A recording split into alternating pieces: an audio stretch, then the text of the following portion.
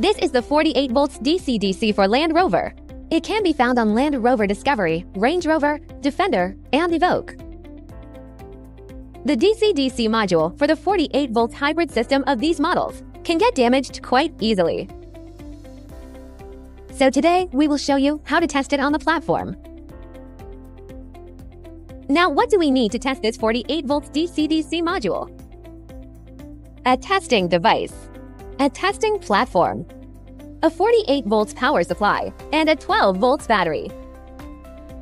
This is a testing platform of Land Rover 48 volts DC-DC. This side is the OBD port. This is to easily test with a diagnostic. We can read DTCs and check live data of the DC-DC module. That we can determine whether it is good or bad. This black and red wire is connected to a 12 volts battery to supply power to the testing platform. Then we can also check whether the DC-DC is activated based on whether it is charging the 12 volts battery. That's why we must use a battery. These two yellow and black wires are connected to a 48 volts power supply. These three are GND, 12 volts and 48 volts. This black plug is the communication and power plug for DC-DC. Let's first connect the connection line of this DC-DC. There will be corresponding markings on our DC-DC. For example, this 48 volts positive. This is for ground. This is for 12 volts. Then we just need to connect the corresponding cables of our testing platform. The yellow one is 48 volts of DC-DC. The black one is for ground. The red one is 12 volts of DC-DC.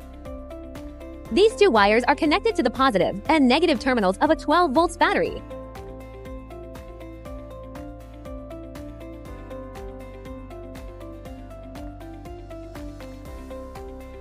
Additionally, these two wires are connected to the positive and negative terminals of a 48 volts battery.